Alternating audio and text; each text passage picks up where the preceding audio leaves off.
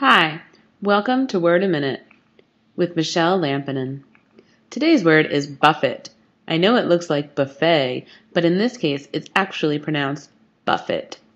Buffet means to slap or cuff, to drive or force with blows, or to force one's way with difficulty. Buffet can also be a noun, which means a slap or a blow. Synonyms for buffet include sock, thump, pummel, and toss about. There are no antonyms for buffet. One interesting tidbit about this word is that it's especially used with waves or wind. So you might say that you walked outside into the cold winter's air and the wind buffeted you in the face. That would be a nice little trick for your writing, too.